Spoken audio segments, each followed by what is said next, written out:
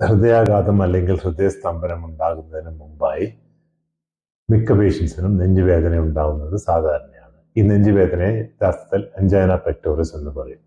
എന്നാൽ യഥാർത്ഥത്തിൽ പല പേഷ്യൻസിനും ഈ എൻജൈന പെക്ടോറിസിന്റെ കൃത്യമായ ലക്ഷണങ്ങൾ അറിയാൻ സാധിക്കാത്തത് കൊണ്ടോ അല്ലെങ്കിൽ അതിനെപ്പറ്റി ഒരു പൂർണ ധാരണ ഇല്ലാത്തത് കൊണ്ടോ അത് പലപ്പോഴും ഇൻഡൈജഷൻ അല്ലെങ്കിൽ മസ്കുലർ പെയിൻ അല്ലെങ്കിൽ അസിഡിറ്റി എന്നൊക്കെ ധരിച്ച് ആ വിലപ്പെട്ട വൈദ്യചികിത്സ നേടേണ്ട നിമിഷങ്ങൾ നഷ്ടപ്പെടുത്താറുണ്ട്. ഇന്ന് നമുക്ക് എൻജാന പെറ്റോറിസിന്റെ യഥാർത്ഥ ലക്ഷണങ്ങൾ എന്തൊക്കെയാണെന്ന് നോക്കാം.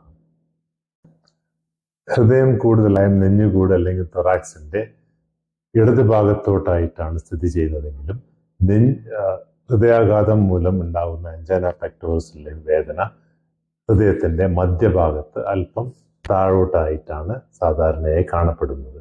ഇതൊരു തരത്തിൽ ഒരു ഞെരുക്കുന്ന തരത്തിലുള്ള വേദനയായിട്ട് അനുഭവപ്പെടുകയും ഇത് ഇതുണ്ടാവുമ്പോൾ സാധാരണ പേഷ്യൻസിന് അല്പം ശ്വാസതടസ്സം അനുഭവപ്പെടുകയും ചെയ്യാറുണ്ട്.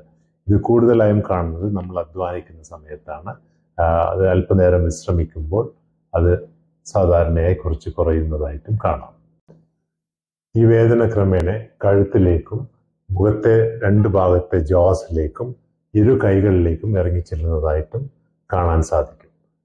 കൂടാതെ ഇതിനോടൊപ്പം ശരീരം ഒന്നായി വേർക്കുക തലചുറ്റൽ അനുഭവപ്പെടുക ഛർദി അനുഭവപ്പെടുക എന്നതും ഇതിനോടൊപ്പം കാണാവുന്ന ലക്ഷണങ്ങളാണ്.